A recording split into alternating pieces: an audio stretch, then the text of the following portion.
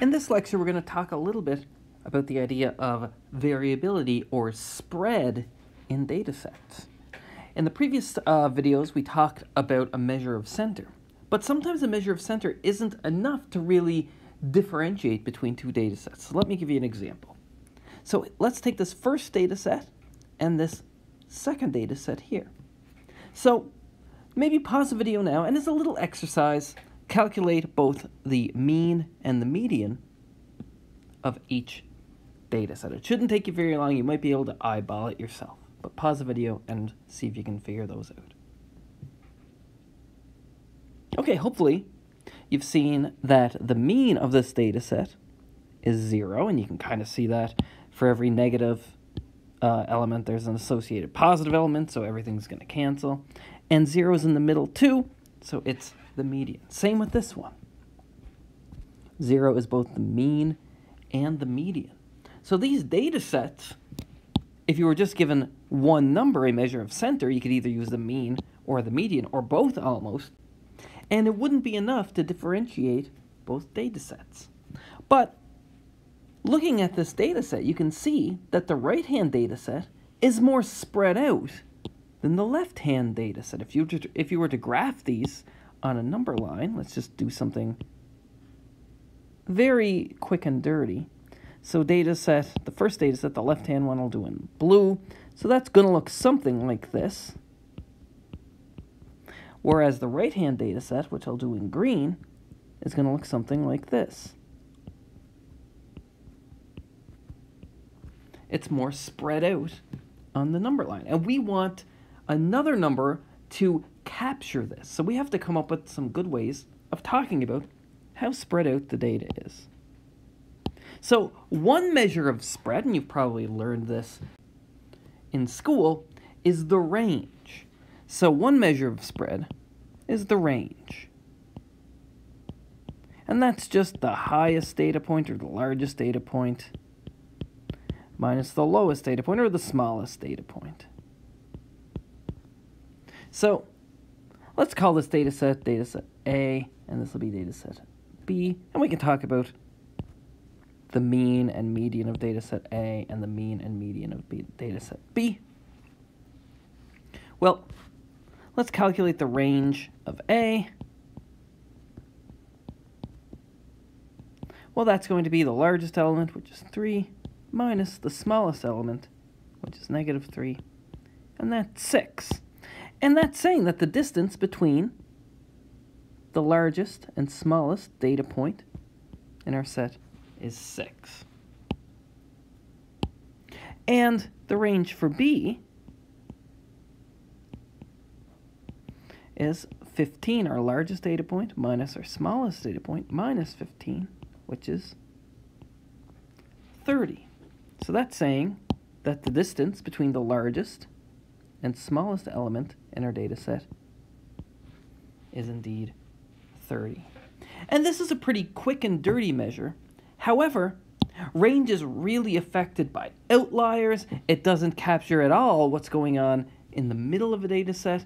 So we need something that's a little more precise. So that's what we're going to discuss on the next slide.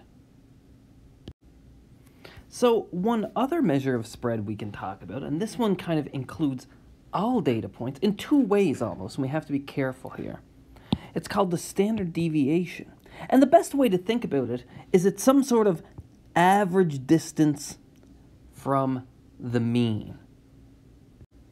And we have to be a little bit careful when we talk about distance. When we're talking about distance, we want to make sure that we're kind of including, say, the distance. We know that the mean is 0 here, so this is the mean. And we know the distance from 0 to 1, that's 1.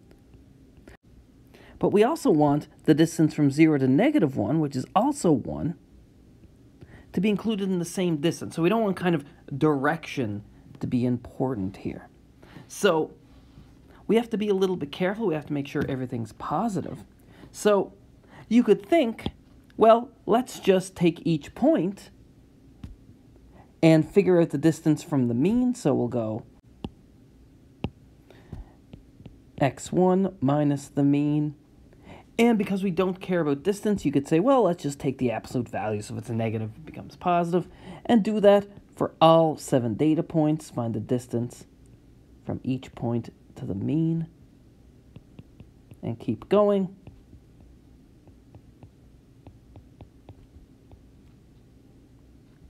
And then find the average of it. to divide by 7. And in some sense, that's roughly the idea.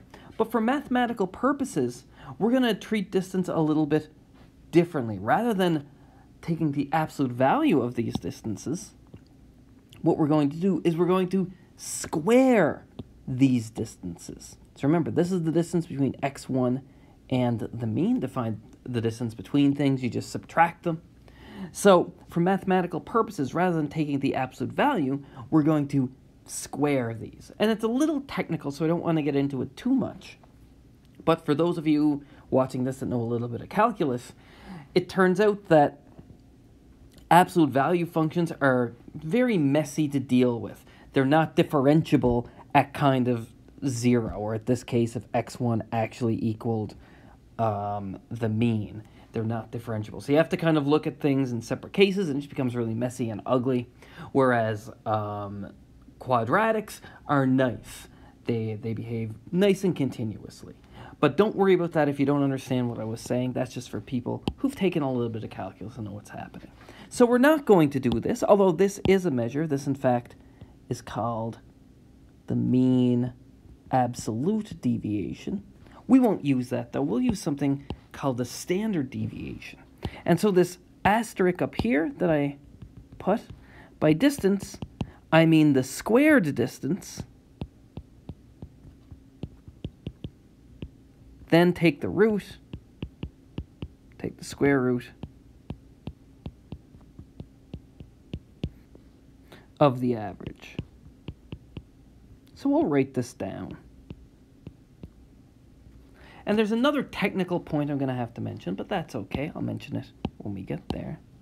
And we use the symbol S to refer to a sample standard deviation. So I'm going to write it longhand, and then I can write it in a little shorter notation.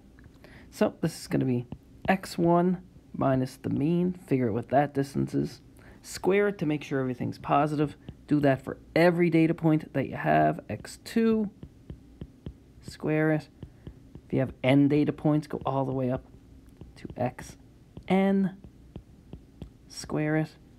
Then we're going to divide by, I'm going to write n minus 1. I'll explain this in a second. We're not dividing by n, we're dividing by n minus 1.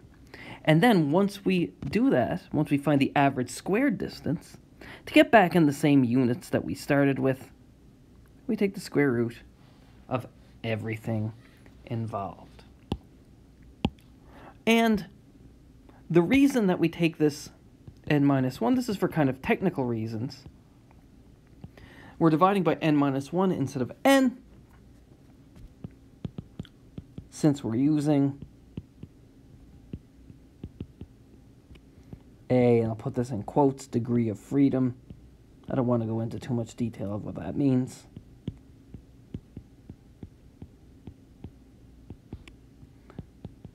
To find the mean. So in some sense, we're treating the mean like something we know, like a data point. So there's only n minus 1 data points that we're really using because we had to, in some sense, use one of them to calculate the mean. But don't worry about that. Just know our formula looks like this. Also, there's a population standard deviation, so this is a sample standard deviation. Maybe I'll make a note. and the population standard deviation. I'm not going to write down the formula for it. It's basically the same, and we won't calculate it by hand very much at all. But this is the population standard deviation here. So it's a symbol called little sigma. So it's a Greek letter little sigma, and that is the population standard deviation. Again, we usually don't know um, population standard deviations. Just don't just like we don't know population means. So we have to estimate it using samples, and that's going to be the overarching idea for this course. So let's do an example just to make sure we understand what's going on. All right, let's look at the standard deviation of these two data sets. So let's go ahead. So remember, we need to figure out the mean first, but we know the mean. We've calculated this previously. We know the mean is 0. So the standard deviation is going to be the square root of the squared distances from the mean, and then divided by n minus 1. So here we're going to get negative 3 minus 0 squared. So that's the first data point, the distance from the first data point to the mean, and then square it. Let's do the next one, minus 2 minus 0 squared, plus negative 1 minus 0 squared, plus 0 minus 0 squared. And we have 3 more. 1 minus 0 squared plus 2 minus 0 squared plus 3 minus 0 squared. So we figure out all those square distances. We divide by n minus 1. There's 7 data points here, so we're going to divide by 6. And then we're going to take the square root. So let's write this down. So this is going to be 9. So Negative 3 squared is 9. Negative 2 squared is 4. Negative 1 squared is 1. Then we get 0. Similarly, 1, 4, and 9. And that's over 6. So what do we have here? We have 14 plus another 14 is 28. So this is square root 28 over 6, which is approximately, if you put that in your calculator, 2.16, the two decimal places. So we'll call that the standard deviation of data set A. Standard deviation of data set B, now that you have an example, maybe pause the video, try it yourself, see if you get the same answer that I do. Okay, so let's do this. Same idea. I'm not going to write down as much since it's the same thing. But we know the mean is 0, so this is the mean of A, and it's the mean of B is 0. So we just do the same thing. 15 minus 0 squared. We do that for all seven data points. I'll just put in the first and the last. Hopefully the ellipses there are clear of what I'm doing. I'm just doing the exact same thing that I did in this example with these data points, but with these data points instead. And I'm going to divide by 6. And you should get square root of 700 over 6, which is approximately 10.80. And if units are the same and everything else is uh, is the same, let me put approximately equals here. This data set has a larger standard deviation than this one, so we can say data set B is more spread out than data set A. And that's the key thing to remember. When you have data sets that are in the same units and roughly measuring the same thing, the larger the standard deviation is, then the more spread out the data. So that's what you're thinking of here. This is a measure of spread. You can think of it on average in some sense. Um, the average distance from any data point to the mean in data set A is around 2.16 units, and the average distance from any uh, data point in data set B to the mean is around 10.8 units.